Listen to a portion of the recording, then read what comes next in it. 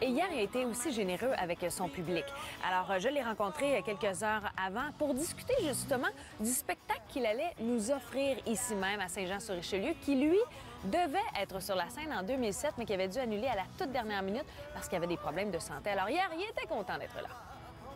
Je suis ravi d'être là ce soir. C'était c'était vraiment horrible d'avoir euh, annulé, mais j'avais vraiment pas le choix il y a quelques années parce que c'était vraiment une période assez difficile. Et euh, de pouvoir revenir encore une fois, je suis un peu en retard, bon je le sais, quelques années en retard, mais je suis là ce soir. Je vous entends pas.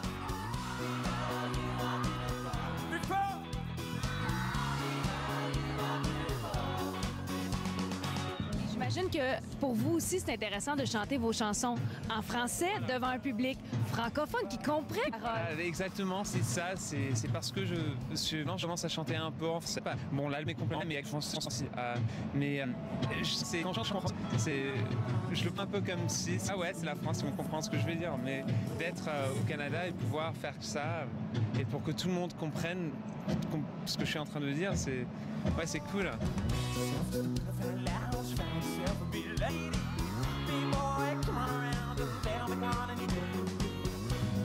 En terminant, est-ce qu'il y aura une tournée éventuelle et vous allez vous arrêter à Montréal ou euh, au Québec pour une tournée éventuellement? Oui, je vais faire, une, euh, je vais faire un show à, à Montréal très bientôt. On n'a pas encore annoncé, parce que, et je peux pas pour l'instant parce que ça doit être confirmé, mais ouais, ça va être euh, avant Noël, ça c'est sûr. Ouais, bonne nouvelle! Alors, il sera de passage à Montréal. C'est toujours le fun de le voir en spectacle. Et Mika, qui non seulement est en spectacle, mais prépare un nouvel album qui sort en quelques semaines à peine. Alors, je lui ai demandé de nous donner peu de détails.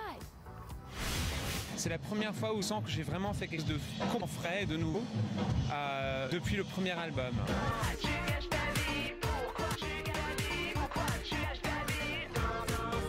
Quand on entend l'album, on entend une sorte de un patchwork de sons. Il y a vraiment des influences classiques.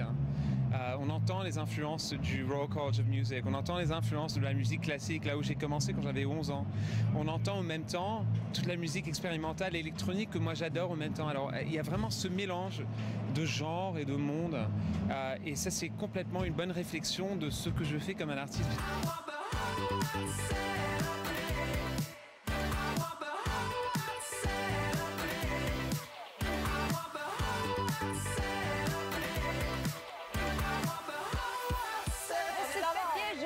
Mais euh, écoute, juste te dire que Simple Plan ce soir.